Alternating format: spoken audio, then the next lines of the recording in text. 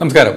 ഇന്ന് നമ്മൾ സംസാരിക്കാൻ പോകുന്നത് ഒരു വീട് വാങ്ങണത് എന്ന് പറഞ്ഞാൽ മലയാളികൾക്ക് ഒരു സ്വപ്നമാണ്. അപ്പോൾ വീട് എങ്ങനെ ലോൺ എടുക്കാതെ വീട് വാങ്ങാന്നുള്ളതിനെ കുറിച്ചാണ് ഇപ്പോൾ പലരും ഇത്തരം കാര്യങ്ങൾ സംസാരിച്ചിട്ടുണ്ട്. പക്ഷേ എന്നിരുന്നാലും ഒട്ടുമിക്കപ്പോഴും ആൾക്കാർ വിളിക്കാറുണ്ട്. ഇപ്പോൾ പല ആൾക്കാരും ലോൺ എടുത്തിട്ട് വീട് വാങ്ങണം എന്നുള്ള ആഗ്രഹം ചെല്ലുമ്പോൾ എവിടെന്നെങ്കിലും പോയിട്ട് ലോൺ എടുക്കും. ചില ടൈമിൽ പന്ത്രണ്ട് ശതമാനത്തിന് പതിനാല് ശതമാനത്തിനൊക്കെ ലോൺ എടുക്കും. എന്നിട്ട് ആ ലോൺ അടയ്ക്കാൻ പറ്റാതെ ആകുമ്പോൾ അവരൊരു വിഷമം.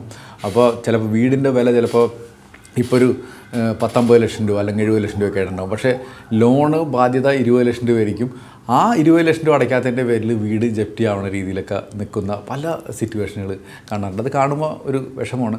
അപ്പോൾ ഇനിയുള്ള ജനറേഷനെങ്കിലും നമ്മൾ എങ്ങനെ വീട് വാങ്ങുന്നത് ലോൺ എടുക്കാതെ വാങ്ങാന്നുള്ളതിനെ കുറിച്ചിട്ട് ചിന്തിക്കുക. അപ്പോൾ പലപ്പോഴും പലരും നമ്മൾ മലയാളീസിനുള്ളൊരു വളരെ ക്രെഡിറ്റ് ആയിട്ട് പറഞ്ഞൊരു കാര്യമുണ്ട്. എന്റെ ഒരു ശമ്പളം വെച്ച് ഞാൻ വീട് വാങ്ങണമെങ്കിൽ എത്ര ടൈം എടുക്കും? അപ്പോൾ ഏറ്റവും നല്ലത് ഇങ്ങോട്ട് ലോൺ എടുക്കാം. ലോൺ എടുത്തിട്ട് വീട് വാങ്ങാന്നുള്ളത്. അപ്പം ചിലപ്പോൾ ലോൺ എടുക്കുമ്പോൾ നമ്മുടെ എത്രയാണോ ശമ്പളം അതിന്റെ പകുതി കൂടുതൽ ഇ എം ഐ വരുന്ന രീതിയിലുള്ള ലോണുകളൊക്കെ എടുക്കും. ചിലപ്പോൾ എഴുപത്തഞ്ച് ശതമാനമൊക്കെ ഇ എം ഐ എന്നുള്ള രീതിയിലാവും ഭയങ്കര തിരിഞ്ഞ് ഞെരുങ്ങി ഭയങ്കര ഭയങ്കര കഞ്ചസ്റ്റഡായിട്ട് ഭയങ്കര ബുദ്ധിമുട്ടായിട്ട് പോകുന്ന ഒരു അവസ്ഥ പലർക്കും വരാറുണ്ട്. അപ്പോൾ ഇതിനെല്ലാത്തിനും ഒരു സ്റ്റോപ്പായിട്ട് നമുക്കൊരു കുറച്ചും കൂടി പ്ലാൻ ആക്കിയിട്ട് അപ്പോൾ നമുക്ക് എല്ലാവർക്കും അറിയാം ഒരു കരിയർ തുടങ്ങുമ്പോൾ തന്നെ വീട് വാങ്ങേണ്ടതാണ് അല്ലെങ്കിൽ വീട് വാങ്ങണം എന്നുള്ളൊരു ആഗ്രഹം വരുമ്പം നമ്മൾ മനസ്സിലാക്കുക എന്തുകൊണ്ട് ഒന്നില്ലാന്നുണ്ടെങ്കിൽ നമ്മുടെ ഫാമിലിയുടെ ഒപ്പം തന്നെ കുറച്ച് നാൾ ജീവിച്ചുകൂടാ. അല്ലാന്നുണ്ടെങ്കിൽ ഇപ്പോൾ റെന്റിന് കുറച്ച് നാൾ ജീവിച്ചുകൂടാ. അപ്പോൾ ഒരു ഒരു പത്ത് വർഷം മുന്നെങ്കിലും വീട് വെക്കണം എന്നുള്ളതിനെ കുറിച്ചിട്ട് പ്ലാൻ ചെയ്യുക ഇപ്പോൾ വളരെയധികം നല്ല രീതിയിൽ ശമ്പളമൊക്കെ കിട്ടുന്ന ആളുകളാണെന്നുണ്ടെങ്കിൽ കുഴപ്പമില്ല. ഒരു ഈ ഞാനീ പറഞ്ഞ പത്ത് വർഷം എന്നുള്ള പ്ലാൻ വേണം നിങ്ങൾ അഞ്ച് വർഷമായിട്ട് കുറച്ചോളൂ. ആദ്യം ഇൻവെസ്റ്റ് ചെയ്യുക എന്നിട്ട് ആ ഇൻവെസ്റ്റ്മെന്റിൽ നിന്ന് ഒരു നല്ലൊരു രീതിയിൽ റിട്ടേൺ കിട്ടുമ്പോൾ അതിൽ നിന്ന് വീടെടുക്കുന്ന ഒരു പരിപാടി നോക്കുക അപ്പോൾ അത്തരം പ്ലാനുകൾ നമ്മൾ കുറച്ചും കൂടി മുൻകൂട്ടി ചെയ്യണമെന്നുണ്ടെങ്കിൽ ഈസി ആയിട്ട് നമുക്ക് ഒരു ലോൺ എടുക്കാതെ നമുക്ക് വീട് വെക്കാനായിട്ട് പറ്റും. അപ്പോൾ ഇപ്പോഴത്തെ ഒരു സാഹചര്യത്തിൽ പറയണമെന്നുണ്ടെങ്കിൽ നമ്മൾ ഒരു ലോൺ എടുത്തിട്ടാണ് വീട് വെക്കണമെന്നുണ്ടെങ്കിൽ ഒരു അമ്പത് ലക്ഷം രൂപ ലോൺ എടുത്തിട്ടാണ് നമ്മൾ വീട് വയ്ക്കുന്ന ഒരു സാഹചര്യമാണെന്നുണ്ടെങ്കിൽ ഇപ്പോൾ അമ്പത് ലക്ഷം രൂപ നമ്മൾ ലോൺ എടുക്കുകയാണ്. അപ്പോൾ ഇതിൽ പലപ്പോഴും ചെയ്യണ കാര്യം എന്തായാലും നമ്മൾ ഒരു ഇരുപത് വർഷത്തേക്കുള്ള ഇ എം ഐ ഉള്ള ഒരു ലോണായിരിക്കും എടുക്കുന്നത്. അപ്പോൾ നമ്മൾ ഇരുപത് വർഷത്തേക്ക് ആണ് എടുക്കുന്നുണ്ടെങ്കിൽ ഇ എം ഐ വരുന്നത്. ഈ ഇരുപത് വർഷം എന്ന് പറഞ്ഞാൽ നല്ല ഒരു മുപ്പത് വയസ്സ് മുപ്പത്തഞ്ച് വയസ്സുള്ള ആളാണ് ലോൺ എടുക്കണമെങ്കിൽ. ഒന്ന് ആലോചിച്ച് നോക്കി ഇരുപത് വർഷം എന്ന് വെച്ചാൽ അമ്പത്തഞ്ച് വയസ്സ് വരെ. എന്ന് വെച്ചാൽ പുള്ളി ജോലി എടുക്കുന്നത് ആ വീടിന്റെ ലോൺ അടച്ച് തീർക്കാൻ വേണ്ടി മാത്രമാണ്. എന്തൊരു ബുദ്ധിമുട്ടുള്ള കാര്യമാണെന്ന് ഒന്ന് ആലോചിച്ച് നോക്കിയേ. അപ്പോൾ അപ്പോൾ ഇരുപത് വർഷത്തേക്കാണെന്നുണ്ടെങ്കിൽ ഏകദേശം ഇ എം ഐ വരുന്നത് മുപ്പത്തൊമ്പതിനായിരം രൂപയാണ്.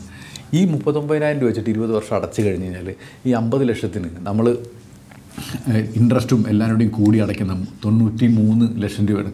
എന്ന് വെച്ചാൽ നമ്മുടെ കയ്യിൽ ഇരുപത് വർഷം കഴിഞ്ഞ് കിട്ടുമ്പോഴേക്കും നമ്മൾ തൊണ്ണൂറ്റി മൂന്ന് ലക്ഷം രൂപ നമ്മൾ അടച്ച് കഴിഞ്ഞിട്ടുണ്ടാവും. എന്ന് വെച്ചാൽ നാൽപ്പത്തി ഇരട്ടിയോളം നമ്മൾ അത് ഇൻട്രസ്റ്റ് ആയിട്ട് പോയി. അതിൽ ശരിയാണ് ടാക്സ് എക്സ്റ്റമിഷൻ എല്ലാവരും കിട്ടിയിട്ടുണ്ടാവും.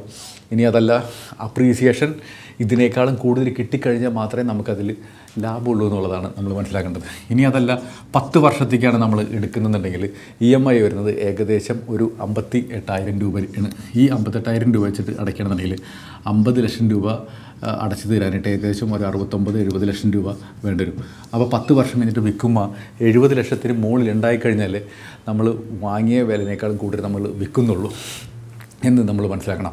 അപ്പോൾ നമ്മൾ ഈ എന്തിനാണ് ധൃതി പിടിക്കുന്നത്? നമുക്കൊന്നും കൂടിയും പ്ലാൻ ചെയ്തിട്ട് നമുക്ക് ഇൻവെസ്റ്റ്മെന്റിൽ കൂടുതൽ ശ്രമിച്ചിട്ട് ആ ലോണിനെ പറ്റിയിട്ട് പിറ്റ ആലോചിക്കുന്നതിലെ കുറച്ചും കൂടി നല്ലത്. അപ്പോൾ ആദ്യം തന്നെ നമ്മൾ വീട് വാങ്ങണം എന്നുള്ളൊരു ആശയം നമുക്ക് വന്നു കഴിഞ്ഞാൽ ഒന്ന് പ്ലാൻ ചെയ്യുക ആദ്യം തന്നെ നമ്മൾ ഇ എം ഐ കൊടുക്കാനായിട്ട് നമ്മൾ തയ്യാറാണ്. അപ്പോൾ നമ്മൾ വീട് വാങ്ങാനായിട്ട് തയ്യാറാകുമ്പോൾ ആദ്യം തന്നെ നമ്മൾ ഇ എം ഐ എനിക്ക് എത്ര കൊടുക്കാനുള്ള കപ്പാസിറ്റി ഉണ്ട് എന്നുള്ളതാണ്. അതിന് മുന്നേ നിങ്ങളിപ്പോൾ ഈ ഈ കേസിലാണെന്നുണ്ടെങ്കിൽ ഏകദേശം നാൽപ്പതിനായിരം രൂപ. ഇവിടെയാണെന്നുണ്ടെങ്കിൽ അറുപതിനായിരം രൂപ നിങ്ങൾ ഇ എം ഐ കൊടുക്കാൻ തയ്യാറാണ്. അതിന് മുന്നേ വീട് വാങ്ങണം എന്നുള്ള ആശയം നമ്മുടെ തലയിൽ ഉദിക്കുമ്പോൾ തന്നെ എന്തുകൊണ്ട് ഞാൻ ഒരു ഇരുപതിനായിരം രൂപ വീട് വാങ്ങണം എന്നുള്ള കാര്യത്തോടനുസരിച്ച് ഒരു എസ് ഐ പി തുടങ്ങിക്കൂടാ? ഇത് പല രീതിയിൽ ചിന്തിക്കാം. നിങ്ങൾ യങ് ആണെന്നുണ്ടെങ്കിൽ ഡയറക്റ്റ് ഇക്വിറ്റിയിൽ നിങ്ങൾ എസ് ഐ പി തുടങ്ങാം. ഇനി അതല്ലാന്നുണ്ടെങ്കിൽ നല്ല അഗ്രസീവായിട്ടുള്ള സ്റ്റോക്ക് ഇക്വിറ്റി മ്യൂച്വൽ ഫണ്ടിൽ നമ്മൾ ഇൻവെസ്റ്റ് ചെയ്യാനായിട്ട് തയ്യാറാവുക. ഇത് കൃത്യമായിട്ട് മോണിറ്റർ ചെയ്യാനായിട്ടും കൂടി നിങ്ങൾ തയ്യാറാണോ അല്ലാന്നുണ്ടെങ്കിൽ ചിലപ്പോൾ വേണ്ട ലാഭം കിട്ടില്ല.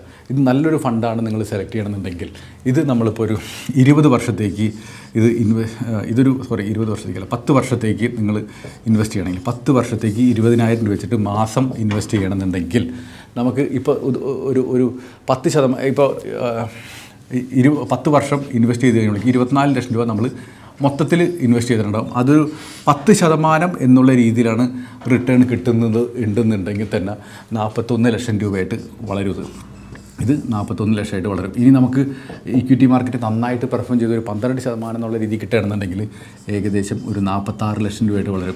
അതുള്ള നല്ല ഒരു മാർക്കറ്റിൽ നല്ലൊരു ഭൂമൊക്കെ നിൽക്കുന്ന ടൈമിലാണ് പതിനഞ്ച് ശതമാനം വെച്ചെങ്ങാനും നമുക്ക് ഗ്രോത്ത് കിട്ടിക്കഴിഞ്ഞാൽ ഈ ഫണ്ട് അമ്പത്തഞ്ച് ലക്ഷം രൂപയായിട്ട് വളരും. അപ്പോൾ നമ്മൾ വീട് എന്നുള്ള ആശയം നമ്മുടെ തലയിലേക്ക് ഉദിക്കുമ്പോൾ തന്നെ എത്ര രൂപ ഇ എം ഐ കൊടുക്കാനായിട്ട് തയ്യാറാവുന്നു? അത് എത്രയാണെന്ന് മനസ്സിലാക്കുക. ആദ്യം ആ ഇ എം ഐ കൊടുക്കാനുള്ള കഴിവുണ്ടെന്ന് മനസ്സിലാക്കേണ്ട. അത്രയും രൂപ ഇ എം ഐക്ക് നിങ്ങൾ എസ് ഐ പി ചേരാം ഒരു പത്ത് വർഷത്തേക്ക് ചെയ്തു. എന്നിട്ട് ഈ പറഞ്ഞ രീതിയിൽ ഒരു റിട്ടേൺ ഉണ്ടാക്കിയെടുക്കൂ. ഇത് ഞാൻ ഈ ഒരു എക്സാമ്പിൾ തന്നെയാണ് ഇരുപത് ഇരുപതും പത്തും വർഷമൊക്കെ വെച്ചത്. അത് ഓരോരുത്തർക്ക് പറ്റുന്ന ഏതാണ് കെമിസ്ട്രി ആ രീതിയിൽ നമുക്ക് ചെയ്യാം.